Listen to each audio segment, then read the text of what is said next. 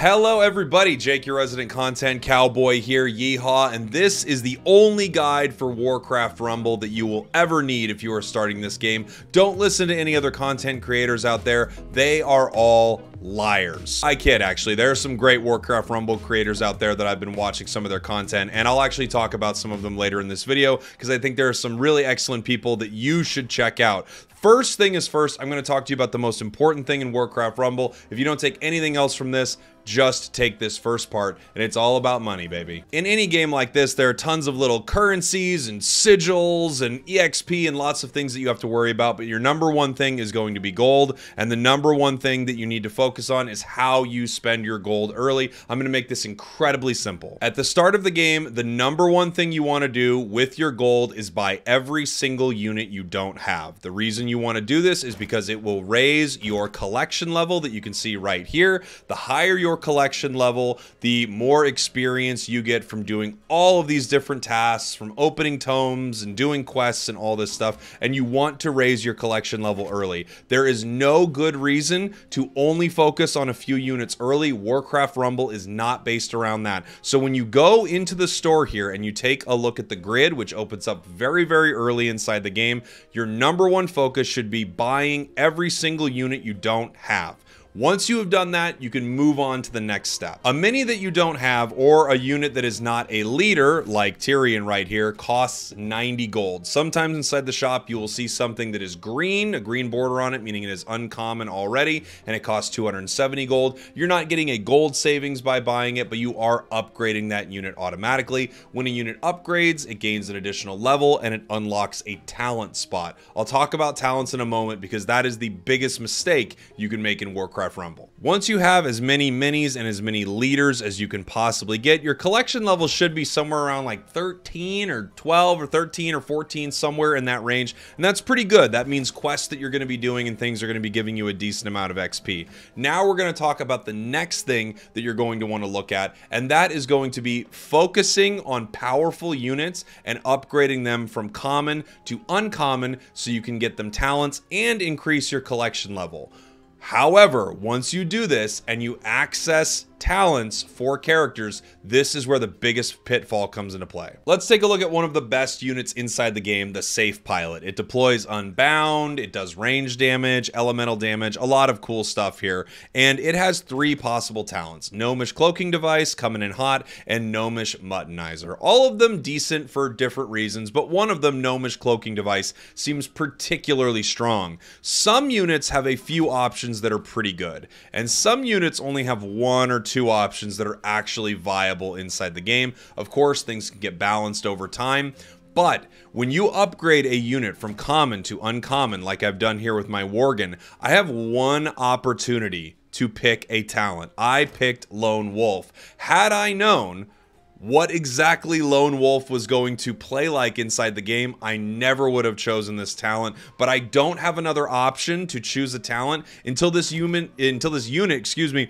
becomes rare at the blue rarity, meaning I need to buy 10 more Worgens inside the shop and then upgrade it. And then I have the ability to possibly, inside the grid right here, find a talent that I would like picking a bad talent is the worst thing that you can do for some of these units. I would highly recommend do not buy any talents for your units unless they are one of the absolute known best choices for talents inside the game until you've played the game for a while. Just leave it open. Don't worry about it. Maybe Noxious Presence for your Abomination is great. Maybe it's not so great. But buying it early, especially for 250 gold, which is a lot, can really, really hurt you in the long run because you could essentially have a unit for a long time having a, a talent that is not useful at all. So again, the easy tips if you don't want to watch any else of the anything else in this video, buy all the units, and then once you've bought all the units, don't buy talents right away. Play the game. Don't buy talents right away until you understand more about the game. You will regret it. I I regret it. Don't do it. Let's talk a little bit more about money really quickly here before we start to move on. Inside the game, as free to play, you will get gold, and as someone who pays money inside the game, you can achieve gold not only through kind of that big Booster, which is probably the best value inside the game. It's like 20, 25 bucks and it increases all the gold and experience that you get. It's probably the best value if you're looking to put money into Warcraft Rumble. But free to play players are going to get a lot of gold. You get gold in a bunch of different ways. You get gold from doing the PvE missions. You can get gold from doing uh, PvP. You can get gold every time that you complete one of these uh, sigils right here as you're going through PvE. There's just a ton of different ways. Oh, Arclight Surges come by every couple days, and those are going to give you what is it 12 maps? One two three it's going to give you 10 maps that you can kind of replay in a fun way just to get some extra gold. You actually do get a decent amount of gold inside the game. Sometimes down here this little free offer that happens in the daily offers gives you gold but at some point you are going to kind of hit a wall with gold and it's when you hit a wall inside your pve campaign and at that point gold is not going to come as fast. Oftentimes really in any game like this i've ever played things are coming at you fast in the beginning where it feels like, oh, you can spend a lot. Then you're going to hit a wall. For me, I felt like I kind of hit that wall somewhere, I think around the hinterlands right here. No, maybe a little later into the campaign. Somewhere in the campaign, I hit a wall around the time I was fighting Jaina Proudmoore. And then I was like, oh, okay. I'm I'm kind of running up to the point where people would need to start spending money or think they would need to start spending money, which is why I think you want to be careful with your gold early. You can change what's on the grid in two ways. First off, if you buy anything, anything that's connected to it sort of in a uh, horizontal or vertical line will get eliminated. So if I bought right here this polymorph spell right below this right here, Black Arrow from uh, Sylvanas would uh, refresh as well as the necromancer right here. So that's something that you can do to kind of move your grid around. You also can use your big red button that you get pretty often to move your grid around as well. And you could recycle the entire grid and have them pull up a bunch of new things. I'll do this for you right now just to show you what it looks like. Boom your whole grid's gone and you get a bunch of new stuff. From what it looks like uh, any mini is available throughout this grid and talents for any uh, mini that you have upgraded to uncommon or rare are available as long as you haven't bought one. So, for instance, if I buy Roost here for Drake, uh, it nothing else will be available for this unit until I upgrade it to another level. And then outside of that, it looks like leaders are on a bit of a rotation. It doesn't say that inside this shop right now. However, throughout the beta, leaders have been on a rotation where there's an Alliance week, a Beast week, Undead, Blackrock, uh, etc. And I think right now we're on an Alliance rotation. I'm curious to see what will happen when the game officially launches right here, but usually you can just get leaders for that faction at that time. Down here in the daily offers, I would say are some huge no-nos. I would stay far away from buying any experience tomes with coins. You really don't need this to level up your units. You can level up your units through quests or PvP or just playing them in PvE. I'll talk more about that later. But I would say this entire daily offer shop right now is an absolute no. Don't spend your gold here. Spend all of your gold here inside the grid. And then as far as spending real currency inside the game, real do, re, mi, you can find that inside the store if you go lower here down to refilling your coins. I've spent, I don't know, I want to say about 40 bucks in the game. I bought a hero, uh, Sylvanas, because I wanted to check the, her out. Not very good. And uh, I bought the Arclight booster thing, which gives you more gold and more experience throughout the game, which is like 25 bucks. So I think that's about what I've spent here inside the game. And honestly, yeah, I feel like they've been pretty decent purchases, but you don't need to buy that for a free-to-play game. I could have gotten this just a little further as a free-to-play player, but I wanted to test a lot of stuff out. Throughout your PvE campaign right here, you're going to deal with some of the bosses inside this game. They're going to present you with some kind of cool stuff. Each map is a little different, and they have different things that you need to figure out in order to be able to beat it. After a little while, you'll unlock more leaders, you'll unlock more troops, you'll unlock guilds, you'll unlock the shop, you'll unlock uh, heroic campaigns. This is a heroic mission right here. In general, your level advantage is going to be massive throughout something like this, and there are also some units that can make your time a lot easier. I'll talk a little bit about some good PvE units later, but in general, you're going to want to try to push this campaign as far as you can, as quickly as you can, because you're going to be able to unlock a ton of stuff because of it. Every map has kind of a different, unique challenge, and they're all actually really fun. I think the PvE aspect of Warcraft Rumble is one of the best parts of it, because it separates it a little bit from just being sort of a Clash Royale clone. every time you're playing really anything, quests, PvP, any of it, you'll unlock some experience for your units as you play.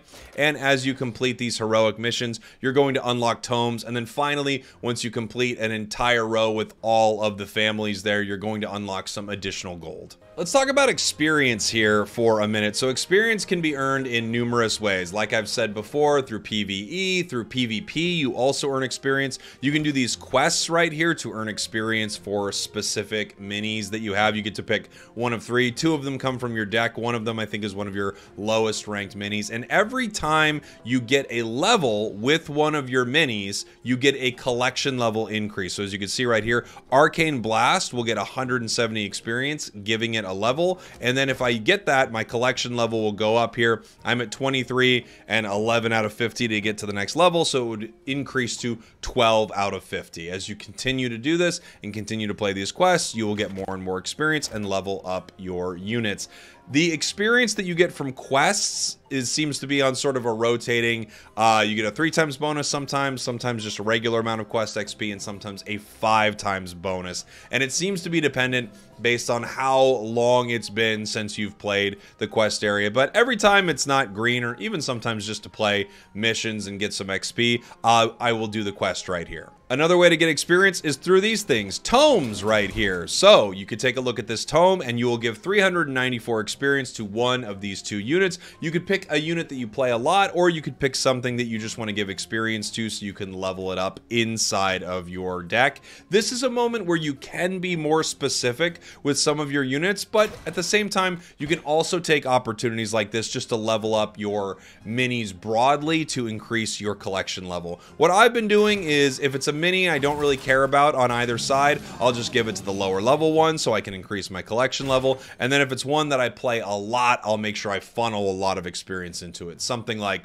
the Huntress or the Harpies or something like that. As you can see, again, you gain stats every time you level up these units, and it's really important. If you're multiple levels above your opponents in PvE and in PvP, which we'll talk about later, the advantage is massive. Also, as I mentioned before, along the same lines of experience, if you upgrade a unit from common to uncommon, as you're going to see right here, it's going to cost stars, which means you have multiple copies of that unit, and some energy. You'll click the upgrade button. By the way, energy feels pretty plentiful right now inside the game. Click the upgrade button. This unit will also increase in level as well as rarity moving up one level right here and moving up to uncommon rarity. Again, this will unlock the ability for me to buy a talent for the footman inside the grid. And again, be very careful with these talents. Some of them are good and some of them are just Whew, you're going to regret them. This is not directly tied to experience, but another way to increase your unit's level are through these things right here that you are able to obtain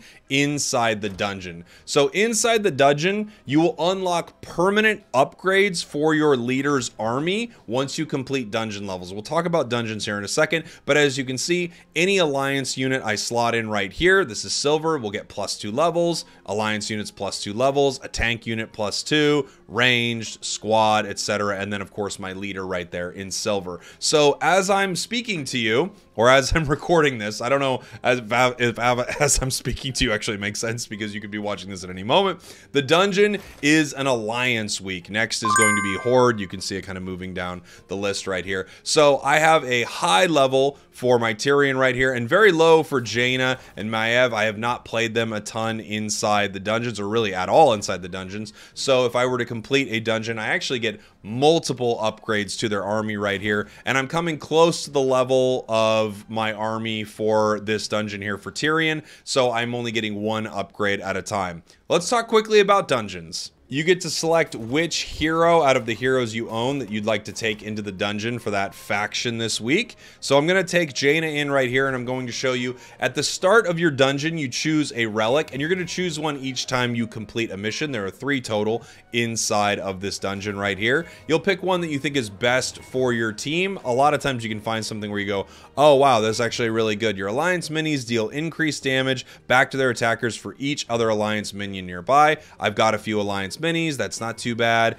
They gain bloodlust if they're near allies. Your leader recovers health. All decent bonuses. Some for your particular deck, much better than others, but in general, all pretty strong. And it's actually nice. They show you which minis it affects right below each one. So you can see this one obviously would affect a ton because if you're near an ally, you get Bloodlust. Let's go ahead and use this. Just like the PvE campaign, you're going to fight through multiple sort of specific instances right here that the game has set up for you. And I'm just going to fight through this really quick and fast forward to I could show so I could show you the next part. Once you complete each map, you're going to obtain one of these Onks, which will just give you the ability to revive and try it again here, and then also some energy. Like I said earlier, you get tons of energy inside this game. It's pretty easy to come by. So I've now completed this dungeon. I claim an energy reward. And again, because I'm a higher level than it, I claim multiple rewards for my army right here. I can increase things I already have, like my spell and my leader, or I can add a new one to my slot, which is siege damage. It seems like you can add a bunch of different ones to these bottom three spots. And I would recommend early on just increasing the things you already have, especially things like leader. Just giving your leader an extra level is pretty amazing right here. So you're going to see me increase a couple of these. I'm going to increase my spell slot right here. And then we're going to get one more, and I'm going to increase my leader one more time. As you continue doing dungeons, the dungeon level increases, and you continue to gain upgrades for this particular leader's deck, essentially, as you are going.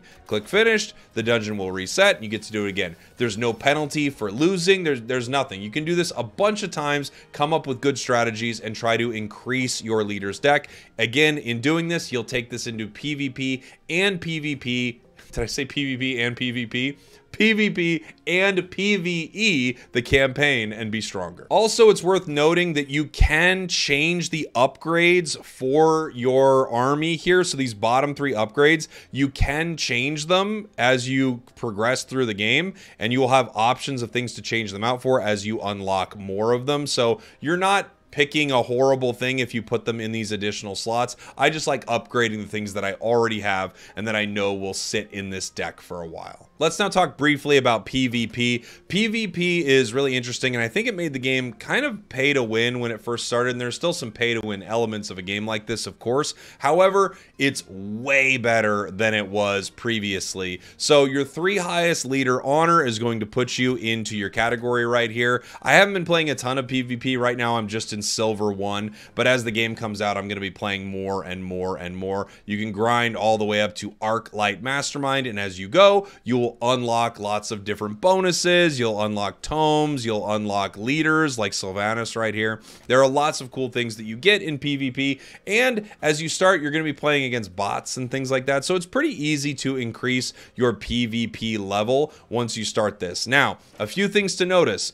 Inside of PvP, when you are below 1000 honor, all units are capped at 1, below 2000, all units are capped at 3, and below 3000, all units are capped at level 5. Your minis, as it says right here, will be divided by level 3 and then rounded up. So before this, when I got to silver, before this change, it wasn't always like this. As soon as you got out of bronze before, it was just your level divided by 3. I was literally having level three and four units going up against eights and nines and you would get decimated by the like i had one game where i won and i felt like an absolute hero against crazy high level units but in general the pay to win or even just the amount of time that another player had been grinding was so unfair. This is way better now. So all the way up until you have 3000 honor, which will take you a little while. I've played a decent amount of PvP right here and I'm still at only, you know, 1300 honor with like my favorite deck or things like that. Uh, you will be in a very reasonable state for PvP. I probably wouldn't start it until you've played a little bit of the campaign, but the nice thing is with the level cap uh, below 1,000 honor of one, no matter what you bring in, you're going to have a reasonably fair time and you're going to have a good chance at beating your opponent. Very early on, you unlock guilds at 10 sigils, and inside of guilds, your team will collectively sort of pool together to fight for these unlocks inside the game. So for this season, you're going to be able to unlock Sylvanas Windrunner, this fun emote, and then an epic upgrade core. I haven't really got to the part of the game where upgrade cores are that not relevant. And from all the content I see out there, it doesn't appear that they're super relevant, but I'm sure it's a nice bonus once you get very, very high level inside the game. Also, your clan together, or your guild together, excuse me, is going to uh, pool together and unlock additional tomes. So you'll unlock additional tomes for each family inside of the game, and you'll just use those to level up your units. It's a very cool system, and you really don't have to think about it. Just by playing the game, you're going to get this. It is your PvP honor and your Arclight Surge uh, participation that is going to increase these things. And then just having a semi-active guild will give you a chance to unlock a lot of this stuff. Last season they had Core Hounds as the 10,000 reward. This guild I'm in got there very, very quickly. So it's an easy thing. It's free to join, and it's going to unlock some benefits for you if you're playing the game. Real quick, I'm going to talk briefly about some good units and some good heroes. I'll have some more in-depth videos about this right here, but as you're starting out, I think really strong heroes. Tirion is a very, very good hero. It's a tank that heals. Maiev is pretty interesting. It's an unbound hero. I'd say it's probably a little tricky for new players, but once you get the hang of it, I think it's a pretty strong one. Hogger, super simple, super good for new players. Very cool. I absolutely love Murk-Eye. I think it's probably too cheesy uh, and maybe not perfect for newer players, but I absolutely love this hero. Stay far away from Charlga. It's insane. Uh, we've got Rend right here. Rend Blackhand's one of the more popular ones. Very, very strong hero for newer players. Both Horde heroes, I think, are actually pretty good. General Drakkisath, not bad either. These are all okay. I'm normally, like, from Warcraft 3, I'm a big Horde fan, but I actually don't love the Horde heroes in this. I probably like our little Tauren here more than the others. This hero right here, Baron. Baron Rivendare, I think, is a great one for new players. Really, really solid. Sylvanas, I don't think is very good. I think you're going to see this unit get a buff. I don't think Sylvanas is good. It's extremely expensive. And then uh, Blood Mage Thalnos is kind of like Jaina. It's like not the best. Uh, and then Sneed, I have not unlocked Sneed. I've seen a lot of Sneed, but the game has not given it to me. I think Sneed is actually probably pretty good for PvE, PvP, and somewhat for newer players too. But easy recommendations: Tirion, Hogger, uh, Rend. Like probably, I guess you would say Cairne Bloodhoof out of the horde right here. You could definitely say Baron. And those are the ones I'd recommend for newer players. As far as units, you get the Safe Pilot. That one's really, really great. Harpies are amazing. Blackrock Pyromancer, great. Quilboar, one of the best, probably my favorite unit in the entire game. Huntress, really, really strong. There are a lot of strong alliance units I've noticed. Let's see, what are some other strong ones that I think are really good? Blizzard's a great spell. Polymorph's not bad. Neither is Chain Lightning. Chain Lightning's really good also. Bloodhoof Tauren, or Stonehoof Tauren, excuse me. Very, very solid unit as well. Gargoyle is a cheesy unit that is really good inside of PvE. Ooh, Whelp Eggs. Whelp Eggs are super, super good. They're unbound, which means you can play them anywhere on the map. They're just like really solid. They explode with a certain talent. Really nice. So those are some of the big units I'd look out for early on. The last thing I'm going to talk to you about is a basic game mechanic, but it's important to understand. I'm going to explain it very briefly, and it's aggro. So the basic idea behind this is the first unit something comes into its range of is going to take its aggro right here. So you can see this unit jumps towards me and it is going to be aggroed to me. This is the unit it's going to be fighting. As these chickens come up, they're all going to fight my hero right here until something else aggroes them. As you can see, I'm putting two of my ranged units behind my tower right here because they're behind my tower and the enemies have already started attacking my tower. That is the target that they have aggroed to my units will not start soaking up damage for them unless they are closer to them and then those units are stunned. So once something picks a target, that is what they're going to attack essentially until either one of these units are knocked out. So practically what something like this means is you want to take an opportunity to put a tank in front of your ranged units like this. These units are in range of my tower right here, but they're using all of their energy to fight my Stonehoof Tauren rather than some of my squishier units. Now you can see some of my units are actually a little bit faster here than my Tauren, and because of that, they might get targeted before my Tauren does inside this fight. As you can see, Tauren is the furthest out there, so at the same time, this Ogre Magi is not attacking my units right there. It was attacking the front line for those. You can think about aggro a lot. So if I put my Huntress out here and then I interrupt these two Raptors right here with my Quilboar, the Quilboar is going to take the aggro from them instead of my Huntress. As my Huntress continues, it's going to be faster and it's going to run into these units. So my Quilboar will not end up taking the aggro and all of these units are focusing on my Huntress, which I'd rather have not happen. So a lot of what you're trying to do inside the game with some of these fights is you're trying to put your tankier units up front get the attention of the enemies so that you can use the units you want to do damage from range. That's a basic look at aggro, but that's essentially how it works inside the game. The only thing that changes aggro are things like taunts and stuns and things like that. If a unit is stunned, it will reset its priorities. So in that moment, the unit will stop attacking what it had been attacking before, and it will reprioritize to the closest target. This concept is why you can see these two raptors attacking this tower, and no matter what I put down right here, they're going to continue attacking that tower until they are then knocked out. So I could put not only harpies down, which are flying, and ground units can't attack flying, but you are going to end up once again here you can see have all these units attack the tower instead of my huntress there are times where this is good and there are times where you absolutely don't want that to have happen and you want to make sure that your enemies are not attacking your towers. Of course all of this stuff could take a deeper look and i'm going to be making more warcraft rumble videos here on my channel. So if you like it hit that like button hit the subscribe button. I've got a lot more cool stuff coming soon. Let me talk to you really quickly about some other creators in the space these are just some creators I found that have some pretty cool Warcraft Rumble content. I don't know any of them, but I think you could take a look at them. Xcoundrel right here has got some pretty cool stuff. I've watched a lot of his Warcraft Rumble videos. I've watched a few videos from this guy, Big Math Warcraft Rumble, and he seems pretty knowledgeable. And then there's this guy, Balava Warcraft Rumble, who makes me laugh and seems like a very, very good player. I'm sure there's a lot of great content creators. If you've seen others that you like, leave them in the comments. Let me know what you thought about this guide. Thanks for watching. Thanks for listening. I love you and I will see you all next time. Mm-hmm.